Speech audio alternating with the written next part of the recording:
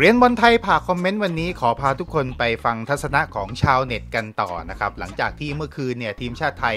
พ่ายให้กับทาจิกิสถานในบอล AFC U23 ไป 1 ประตูต่อศูนย์ครับ เรียกว่า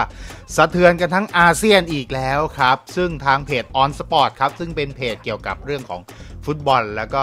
กีฬาของทางเวียดนามครับก็เขาพาดหัวว่าจบเกมไทยศูนย์ทาจิกิสถาน1 ทีมชาติไทยชุด U23 ประสบความสำเร็จในการหนีเวียดนามรอบ quarter final ในบอล AFC U23 โอ้โห เรียกว่าแบบพาดหัวนี่ล่อเลยครับ ล่อเลยจริงๆ อะ เดี๋ยวไปดูกันดีกว่าครับว่าแฟนชาวเน็ตของทางเวียดนามนะครับ จะมีความเห็นเกี่ยวกับเรื่องนี้ยังไงกันบ้างครับ เริ่มที่คนแรกครับเขาบอกว่าไทยยังคงเป็นพี่ใหญ่และผู้นำในอาเซียน และอีกคนก็เหมือนมาแซวครับ นำกลับบ้านใช่ไหมอะไรประมาณนี้ผู้นำนำกลับบ้านอะไรเงี้ยครับคนต่อไปครับบอกว่าพรุ่งนี้อันนี้น่าจะหมายถึงคืนนี้ครับก็บอกว่าพรุ่งนี้เวียดนามและอุซเบย์จะผลัดกันยิงประตูตัวเองแล้วคนก็มาบอกว่า อย่าแปลกใจนะ ถ้าเวียดนามจะได้ 9 แต้มในรอบแบ่งกลุ่มนะก็อาจจะหมายถึงว่าอุซเบย์อาจจะเล่นไม่ร้อยเปอร์เซ็นต์นะครับ เพื่อให้เวียดนามเข้าเป็นที่ 1 แล้วก็ไปเจอกับ ทางด้านของซาอุดิอาระเบียแทนนะครับ ต่อมาครับบอกว่าเหลือแค่เวียดนามกับอินโดนีเซียสินะ ขอแสดงความยินดีกับไทยและมาเลเซียด้วยที่ได้เข้าร่วมการแข่งขันในรอบสุดท้ายนี้ นี่เป็นไง โอ้โห มาแบบเอิดเลยทีเดียวครับ แบบว่าเอออขอแสดงความยินดีที่เข้าร่วมแต่ไม่ได้เข้ารอบอะไรเงี้ยนะเออต่อมาครับบอกว่าชัยชนะเหนืออิรัก เป็นอุบัติเหตุทางลูกหนังสินะ นี่น่าจะหมายถึงเกมแรกครับ ที่ทีมชาติไทยเอาชนะอิรักได้ แล้วก็สะเทือนไปทั้งอาเซียนนะครับ แล้วก็พอพอสุดท้ายผลที่ออกมาทำให้ไทยตกรอบเนี่ยเขาก็เลยแซวว่าเอ๊ะน่าจะแบบฟุกหรือเปล่าอะไรอย่างนั้นนะครับ ต่อมาครับเขาบอกว่าแฟนบอลไทยที่พูดเวียดนามได้คงเสียใจมาก นี่น่าจะหมายถึงชาวเวียดนามที่แบบเชียร์ทีมชาติไทยอะไรประมาณนี้นะ แล้วก็อีกคนก็เลยมาต่อว่า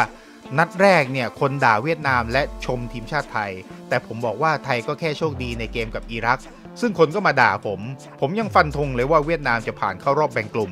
ส่วนทีมชาติไทยจะได้กลับบ้าน ซึ่งผมก็ได้ถูกนี่มีขิงด้วยครับ ประมาณว่าแบบคือแบบบอกแล้วว่าฟลุกอะไรเงี้ยนะ คนก็มาด่าเนี่ย ผมยังบอกเลยเวียดนามจะเข้ารอบไทยจะตกรอบนี่ได้ได้ทีได้ทีได้ทีครับ ต่อมาครับบอกว่าเกมเวียดนามกับอุซเบย์คืนนี้ นักเตะคงเลี้ยงบอลไปยิงคู่แข่งแบบง่าย ๆ เลยล่ะอืมน่าจะหมายถึงเหมือนการเปรียบเปรยมั้งครับว่าเวียดนามและอุซเบย์เนี่ยก็คงไม่อยากจะเข้าเป็นที่ 1 ของกลุ่ม เพราะว่าที่ 1 ของกลุ่มเนี่ยจะค่อยไปเจอที่ 2 ของกลุ่มดีนะครับกลุ่มกลุ่มของไทย ซึ่งก็คือเป็นทางด้านของซาอุนะครับการเจอกับที่ 1 ซึ่งเป็นอิรักเนี่ยนะครับน่าจะง่ายกว่านะครับ ต่อไปครับเขาบอกว่า สงสัยว่าอิรักคงแกล้งแพ้นัดแรกแน่ๆ นี่ประมาณว่าแบบโอ้โหเล่นดีขนาดนี้ที่แพ้นัดแรกนี่น่าจะแกล้งหรือเปล่าอะไรอย่างนี้นะฮะ คนต่อมาครับบอกว่าน่าเสียดายแทนซาอุที่พวกเขาต้องเจอกับอุซเบย์ในรอบต่อไป อีกคนก็เลยมาบอกครับบอกว่าจริง ๆ ต้องรอผลคู่อุซเบกเวียดนามคืนนี้ก่อนนะ ถึงจะรู้ว่าจะได้เจอกับใครกันแน่อ่าเหมือนเขาก็ยังไม่แน่ใจครับว่าสุดท้ายเนี่ยอุซเบกจะเล่นยังไง แล้วเวียดนามจะเล่นยังไง ใครจะเข้าที่ 1 ใครจะเข้าที่ 2 แต่ว่าตอนนี้เนี่ยจริง ๆ แล้วเนี่ยครับอุซเบกกับเวียดนามเนี่ยประตู เขาเรียกว่าแต้มเท่ากันนะครับแต่ว่าประตูได้เสียเนี่ยทางด้านอุซเบดีกว่า เพราะฉะนั้นเนี่ยถ้าอุซเบเสมอนะครับถ้าเกิดผลออกมาเสมอกันอุซเบก็จะเข้ารอบในฐานะแชมป์กลุ่ม แต่ว่าถ้าเกิดเวียดนามชนะ เวียดนามก็จะได้เข้ารอบในฐานะแชมป์กลุ่มนะครับแล้วก็แชมป์กลุ่มจะไขว้ไปเจอกับที่ 2 ซึ่งก็เจอกับซาอุดีอาระเบียนั่นเองครับ ต่อไปครับเขาบอกว่า แต่ไทยก็ยังเป็นทีมที่แกร่งอยู่ดีนี่อีกคนก็เลยมาบอกว่าเฮ้ยยุคนี้มันยุคอินโดนีเซียแล้วอ่าอันนี้ก็ยังเหมือน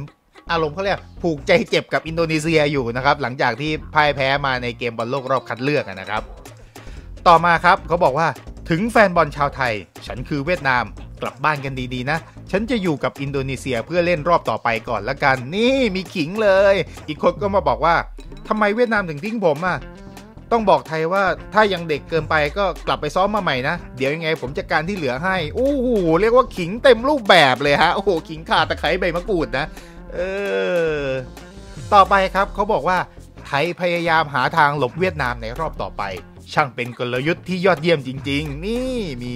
มีมีความแบบว่ามีความมาเอิดใส่มีความทับถมนะฮะคนนี้บอกว่าน่าอับอายแทนชาวไทยทำไมเล่นเอาแค่เสมอไม่พยายามเอาชนะล่ะ มาดามแป้งคงจะเป็นลม โอ้โห รู้จักมาดามแป้งด้วยนะ แล้วก็เพื่อนก็มาตอบต่อครับว่าต่อให้ชนะ 1-0 ก็ตกรอบเหมือนกันแหละ อืม โอ้แต่นี่ผมว่าเซอร์ไพรส์นะรู้จักมาดามแป้งอะไรด้วยนะครับของด้านของชาวเวียดนามคนนี้นะครับต่อไปครับเขาบอกว่าจริง ๆ ต้องบอกว่าซาอุพยายามหลบเวียดนามนะ โอ้โห เก่งอีกแล้ว เก่งอีกแล้ว วันก่อนชาวอินโดก็บอกครับว่าแบบว่าเกาหลีกับญี่ปุ่นเนี่ยพยายามเล่นเพื่อหลบเพื่อหลบอินโดนะครับ พอมาวันนี้เนี่ยต้องบอกว่าโอ้โหซาอุพยายามหลบเวียดนามต่อไปครับเขาบอกว่า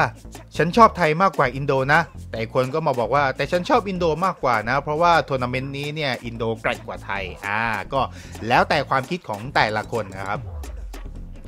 คนต่อมาครับบอกว่าตอนนี้เนี่ยที่ไทยคงเป็นไทยเหงียนนะ แสดงให้เห็นเลยว่าที่จริงแล้วเนี่ยชัยชนะเหนืออิรักเนี่ยเป็นเพียงอุบัติเหตุเท่านั้น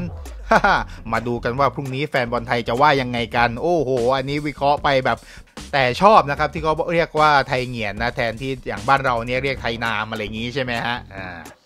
ต่อไปครับเขาบอกว่า ลาก่อนสระน้ำในหมู่บ้าน เวียดนามและอินโดขอออกสู่ทะเลใหญ่ในเอเชีย ส่วน U23 ของไทยขอให้กลับสู่สระน้ำในหมู่บ้านที่คุณรักนะ โอ้โห ช่างเปรียบช่างเปรย แหมออกสู่ทะเลใหญ่ในเอเชียของไทยกลับสระน้ำในหมู่บ้านนะครับ ต่อมาครับเขาบอกว่าไทยเล่นประมาทไปนะ เหมือนหวังให้ซาอุชนะ หรือเสมออิรัก เพื่อดึงให้พวกเขาเข้ารอบนะครับ อีกคนก็เลยมาต่อว่า ปัญหาคือไทยหลงคิดว่าตัวเองชนะอิรัก แล้วคิดว่าอิรักจะอ่อนแอจนไม่สามารถชนะซาอุได้ แต่ว่าแท็กติกดันพลาด แทนที่จะชนะอิรักเนี่ยซาอุกลับเล่นเหมือนแบบแค่เสมอแล้วเผลอๆถึงแพ้ไปเลยครับผมว่าเกมนี้จริงก็เล่นดีกันทั้งคู่แหละ แล้วก็พอคิดว่าอิรักจะแพ้เนี่ยไทยเลยเล่นแค่เอาเสมอเท่านั้นเอง อ่า อันนี้ก็เหมือนเป็นการวิเคราะห์ครับว่าเออไทยทำไมไม่เปิดเกมบุกไม่เล่นเพื่อเอาชนะอะไรเงี้ยครับ อ่า คือแบบไปหวังพึ่งคนอื่นอะไรประมาณนี้มั้งครับ ผลต่อมาครับบอกว่าไทยควรเข้ารอบต่อไปมากกว่าเวียดนามซะอีก นั่นคือความจริงอ่าอันนี้ก็เป็นอีกมุมมองหนึ่งของแฟนบอลชาวเวียดนามนะครับอีกคนนะครับก็มาบอกว่าอิรักเป็นแชมป์กลุ่มซาอุเป็นอันดับ 2 พรุ่งนี้อุซเบกกับเวียดนามจะอ่อยให้กันไหมเนี่ยก็เหมือนกับเป็นการบอกว่าไม่มีใครอยากเป็นแชมป์กลุ่มนะครับ เพราะว่าแชมป์กลุ่มเนี่ยจะได้ไปเจอกับอันดับ 2 ซึ่งก็คือซาอุดิอาระเบีย สุดท้ายครับ คนนี้ก็เหมือนมาย้ำจากสิ่งที่แบบเราพูดกันมาตลอดครับ เขาบอกว่าแล้วซาอุก็ประสบความสำเร็จในการหนีเวียดนามได้ โอ้โห ไปเก่งอีกแล้ว ไปเก่งอีกแล้วนะครับ ก็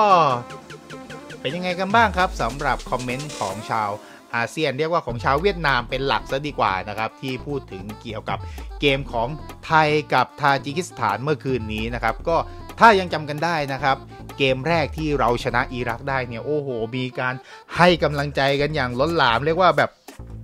อาเซียนร่วมใจทุกคนคือ brother กอดคอก้าวไปด้วยกันในเอเชียทำผลงานให้ดีอะไรเงี้ยพอแพ้ขึ้นมานี่โอ้โห ยับเยินครับ ยับเยินจริง ๆ บอกเลยก็ เอาเป็นว่ายังไงก็ต้องรอดูกันในทัวร์นาเมนต์ต่อไปอะครับ ว่าทีมชาติไทยจะทำผลงานได้ดีแค่ไหนยังไง ซึ่งเดี๋ยวถ้าเกิดมีอัปเดตอะไรยังไงเกี่ยวกับเรื่องของอคอมเมนต์โดยเฉพาะในเรื่องของช่วงนี้ครับ ที่เป็น U23 FC ก็เดี๋ยวจะมาเล่ามาอ่านคอมเมนต์กันให้ฟังอีกครั้งหนึ่งล้วกันนะครับสำหรับวันนี้เนี่ยทางเกรียนบอลไทยผ่าคอมเมนต์ต้องขอลาไปก่อน สวัสดีครับ